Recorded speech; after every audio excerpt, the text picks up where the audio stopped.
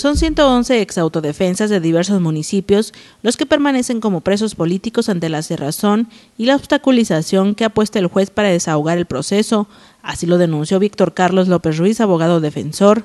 López Ruiz declaró que el juez ha insistido en que faltan pruebas por desahogar, aunque afirmó que no existen tales señalamientos.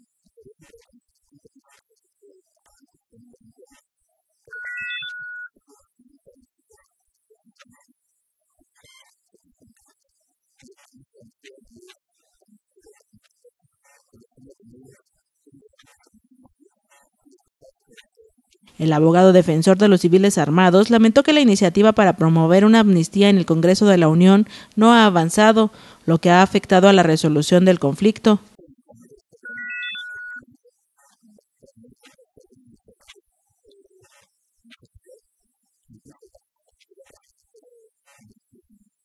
Recordó el caso de otros 120 exautodefensas, quienes a pesar de que se les otorgó el derecho a fianza no han podido hacer uso de este recurso ante la imposibilidad de conseguir el dinero.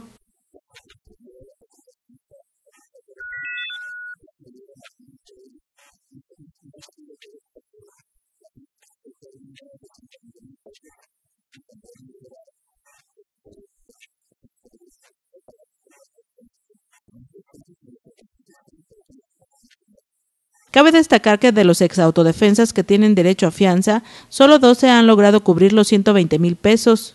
Con imágenes de Eduardo Alonso e información de Arturo Molina, Notivideo.